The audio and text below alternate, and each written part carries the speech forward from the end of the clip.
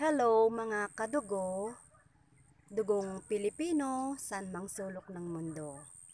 Welcome back again dito sa aking channel, Levi Nasino. At the moment po, nandito na naman po ako sa Ilocano ay kumkuman. Yung mga dito sa mga taniman po ng mga mais, gulay, dito sa aming lugar. Ah, yan po. Ang nakikita nyo po ngayon ay ang Gansinya Farm. Yan. At eto naman yung ah, yan po yung Berting Floor Bagalay Farm. At eto naman po yung ah, Bugoy's Farm. Binabahagi ko na naman po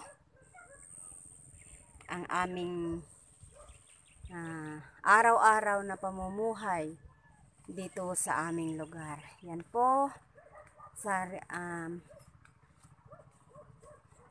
nagunga rin yung tanim naming palay, mga kadugo.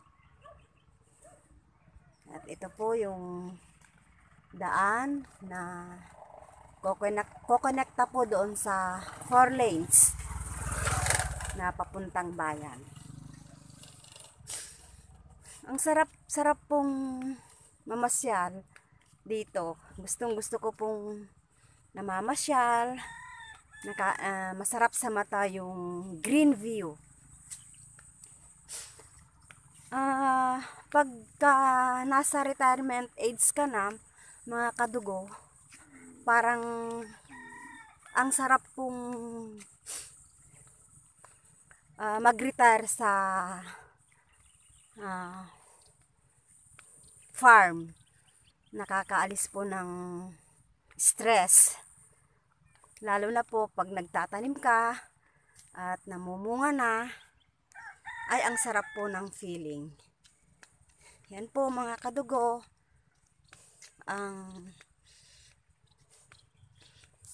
tanawin dito sa aming barangay.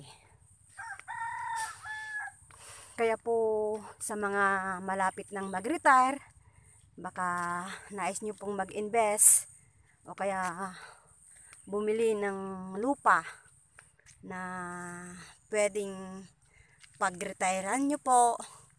Dito po sa amin, marami pong, marami po akong naririnig na for sale.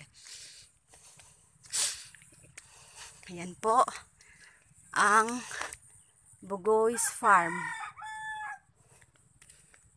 Pasok po tayo sa ah, doon po tayo. Bugoy's Farm. Malalaki na po yung aratilis na aming itinanim last year. Yan, mga kadugo. Pwedeng lagyan ng upuan para masarap na tambayan sa summer, this coming summer. Yan po, magdabo po ang aming mga tanim so far. Mga talong. Yan.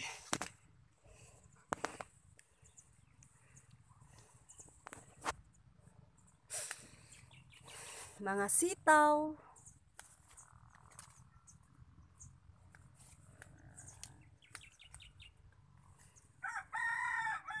Punta po tayo doon. Pinagpastulan na ng kambing dahil sa dami ng damo.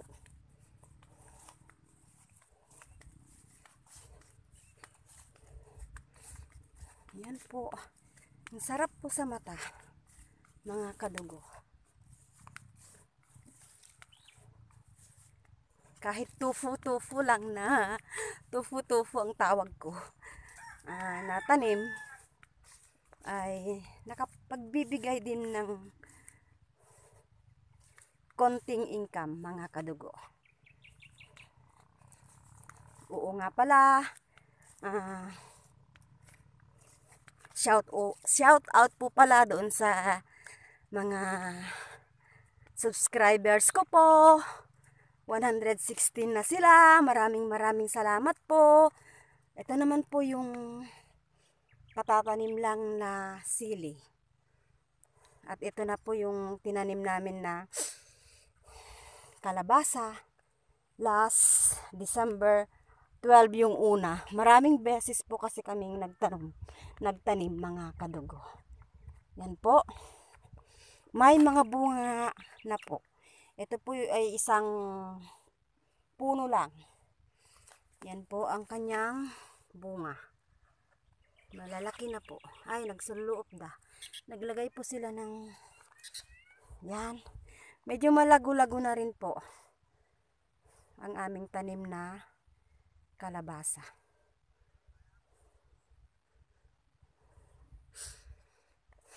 At doon naman pong banda, punta po tayo doon mga kadugo. Salamat po mga minamahal kong subscribers.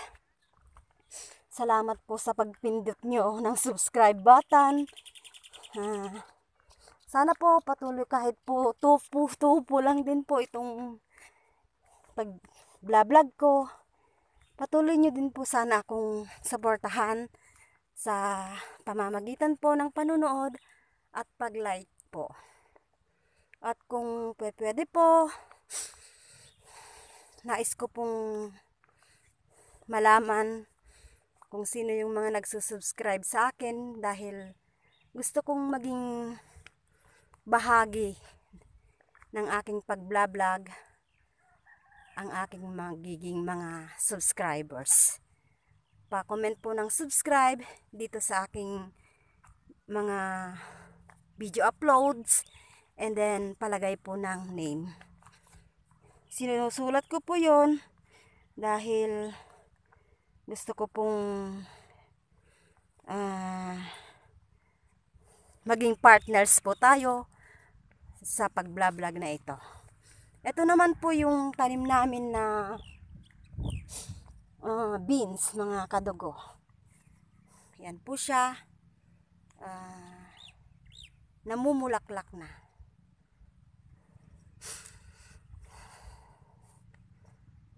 Ayan po ang mga bulaklak niya. Ay. Ito may bago po kaming tanim mga kadugo. Yan po yung ate ko. Kasama po namin, kasama ko po na nagtatanim dito, nag-aalis ng damo. May babunggo po kaming tanim ngayon. Ito po mga kadugo ay ang pakwan.